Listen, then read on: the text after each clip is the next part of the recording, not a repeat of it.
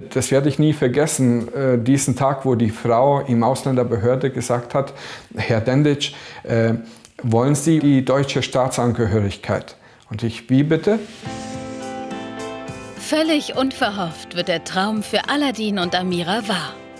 Das war einer der glücklichsten Momente für mich und meine Frau.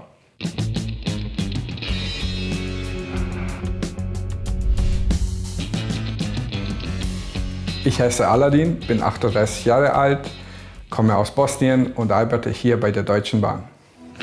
Aladin lebt bereits als Schulkind in Deutschland. 1992 flüchtet seine Familie vor dem Krieg im ehemaligen Jugoslawien.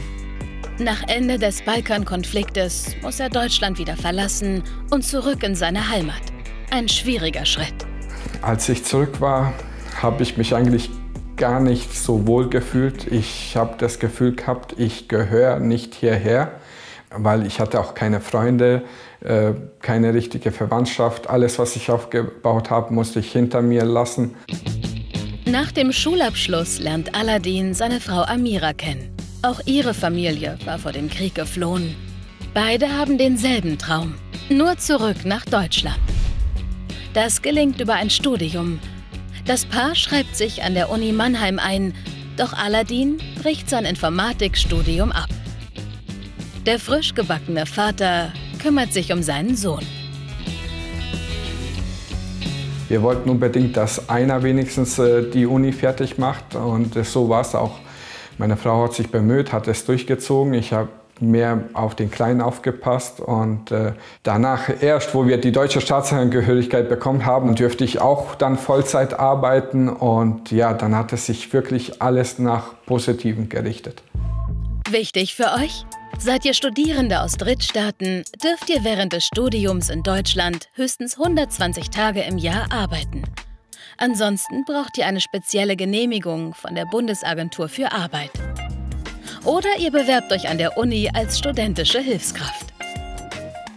Aladins Traum war die deutsche Staatsbürgerschaft. Eure auch? Ein gesicherter Lebensunterhalt und genügend Deutschkenntnisse sind entscheidende Voraussetzungen. Was sonst noch wichtig ist, haben wir euch unten verlinkt.